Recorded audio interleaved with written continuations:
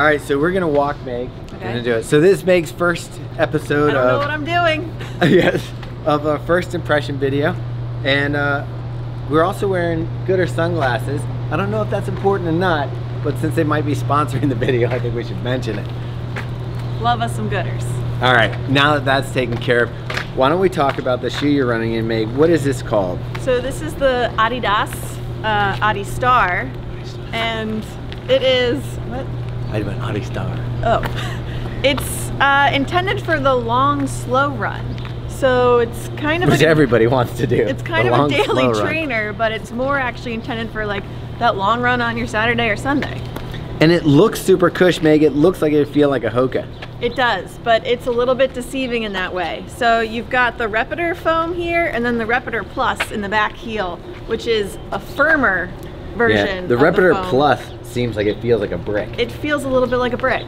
Um, so my first few runs in it, I'm thinking I like it, but it doesn't really give you that Hoka plush feeling.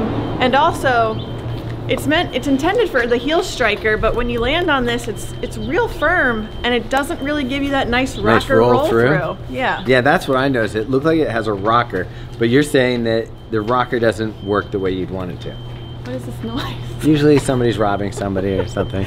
yeah, so I didn't get that rocker feel that I love with with your typical Hoka. I know it's got a full thing of Continental rubber, which you expect from Adidas on the bottom. Yes, so tons of durability and traction here. Uh, the upper is pretty nice. You've got a really plush tongue here. Super plush. Um, it fits well. They've got this like caged lacing system here that locks your foot down, so no issues with the upper. you know what that reminds me of? The Vomero. Yeah, And I found it really hard to get a good uh, tie down on that. I Was this disliked it a lot more in the Vomero. I felt it worked a little bit better here. All right. And then overall, the fit was good. Fit was good, fits true to size. Apparently the last is specifically for women and for men, so I don't know exactly what changed, but this one fits Probably a thinner heel, wider forefoot the for women's women. foot better. Yeah. Um, but yeah, overall it's real firm. Now, you put almost like it's we're calling this first impression, but you've almost got all your miles in on this shoe. You've got over 20 miles in this shoe. Yeah, I put about 20 miles in it, and I, I am gonna keep running in it for at least a few more runs because I wanna like it. I want to like it. I just haven't gotten there yet. Do you? Um, what about the weight? It feels a little bit heavy for your size. It is a little bit heavy. I didn't weigh it, but I'm gonna guess it's probably eight and a half ounces.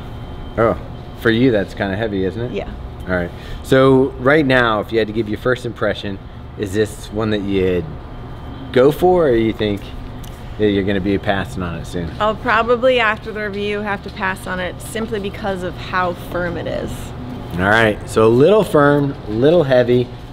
Style-wise, looks cool. You I still know, I gonna think that's it? why I want to like it, because it looks cool. yeah, it does. Are you gonna wear this like after you run for like? I don't know, it's a little it's a little flashy for the I like it. wear. I really like the look. Okay. Anyway, that's it. What's the name of the shoe? Adidas, Adistar. All right, now go long. I'm gonna throw it to you. Oh! Down.